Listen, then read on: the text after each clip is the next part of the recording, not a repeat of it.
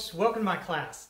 Um, this is just a quick intro to my classes. If you have more than one of my classes, this will be the same intro in a couple of them.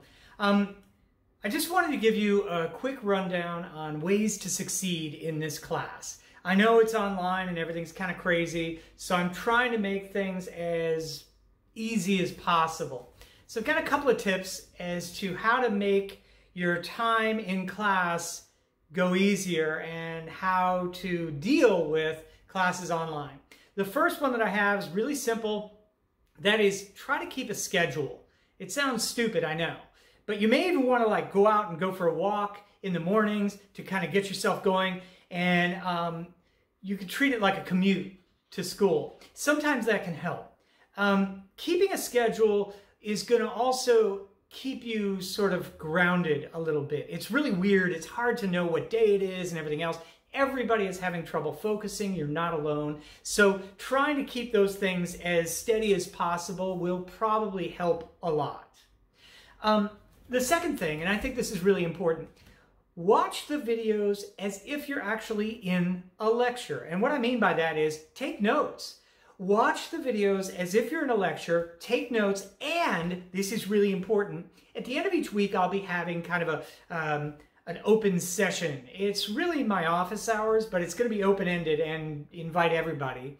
So the idea there is, if you're watching a lecture on a video and you come up with a question, write that question down in your notes because I guarantee you'll forget, especially if you have like five or six classes you're going to forget whatever questions those are. So write them in the margins of your notes and then quickly go through your notes when you meet on our Zoom meetings on Fridays. You can, which by the way are not mandatory. You can just show up if you have questions or if you want to hear other people's questions or just get a little bit more insight as to what you've been watching all week, trying to clarify things. If you can't make it to the Zoom meeting live, there will be recordings of them available on the website on the uh, Canvas page.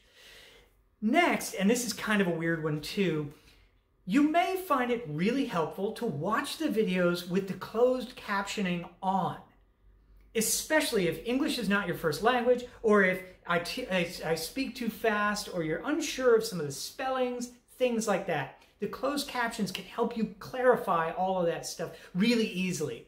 It's an easy way to do it. You can watch the video over and over and over and over and over again until you're sick of hearing my voice, which probably after the first watching. But the point is, watch it with the closed captioning on and it'll help a lot as far as not misinterpreting some of the things that I say.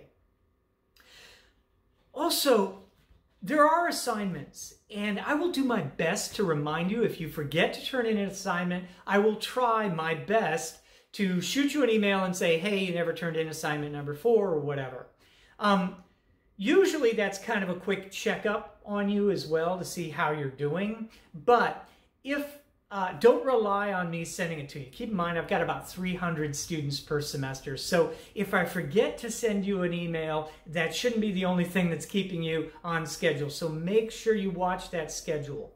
The other thing is the schedule and a bunch of other stuff. I think it should should be over. The, maybe it's over this way. It's over this way. Uh, no, no, it's this way. On on your screen right now, you're watching this in the navigation bar over to the side here. You should be able to see things like um, the class schedule, the syllabus, which is very important for you to find and keep note of. And there's also a calendar function on there which will keep you reminded of what's due when in this class. So keep those things in mind. That will keep you on track, okay?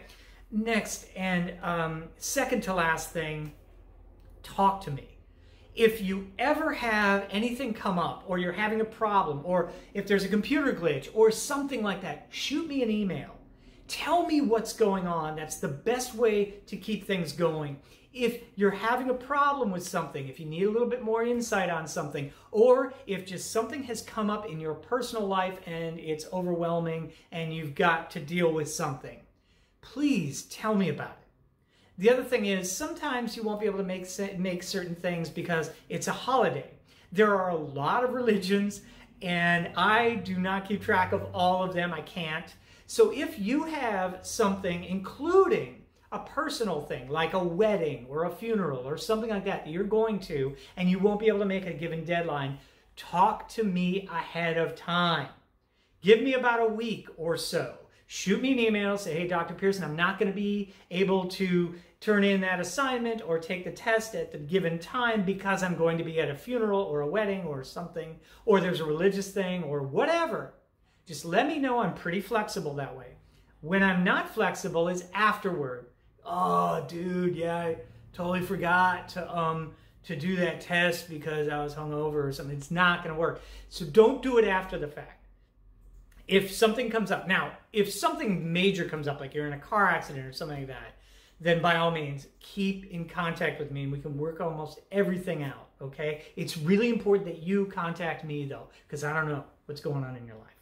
Last thing, and this is the best way to guarantee a good grade in not only this class, but every single class you ever take from here on out. Guarantee best way to boost your grade. And that means if you're a B student, you'll get an A. If you're an A student, you'll still probably get a better understanding and you'll certainly get an A on everything. This is it. Study with people. Get in a study group of three or more people, including yourself. Why three or more and why study groups and why is it so important? You've heard the old adage comparing notes. You literally want to compare notes. This is a lecture class. I'm not going to give you study guides or anything like that. So don't ask. But what is the study guide? Your notes. It's that way in every uh, college class you'll ever take from here until you get your PhD. So keep this in mind.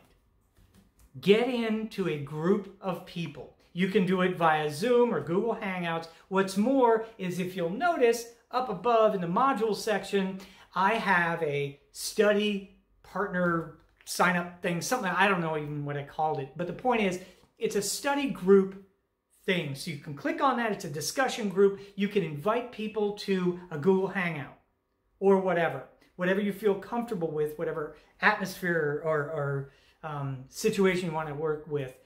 You can use that as a way to get to know other students in this thing. Chat however you want. I don't care. Use it however you want. But try to get a group together to study with. This is so important. Why? Because in a lecture-based class, sometimes you'll hear things wrong or interpret things wrong. So you may say, no, I heard beam theory. Well, I heard beam theory, and I don't know the difference. Well, okay, what's this and what's that? Well, if you have two people it won't work because you'd be like, I heard this, and the other person would be like, I heard that. You're like, well, you're at an impasse. Three people is the key. Then the third person can go, ah, no, she's right. See how it works? Study groups are guaranteed in every class you ever take for the rest of your life to boost your grade. I guarantee it. So get into study groups. Use that uh, uh, technology that I've put up there for you to do. Okay? Guaranteed. All right, if you have any other questions or anything else, um, feel free to drop me a line. Usually the first meeting that we're going to have on our first Friday will be a big wide open Zoom meeting. Everybody can join it. And I want to use that sort of as a meet and greet. So you can ask questions of, of the class and ask anything else that hasn't come up in things like this. All right? Have a good one, and I'll see you through the semester.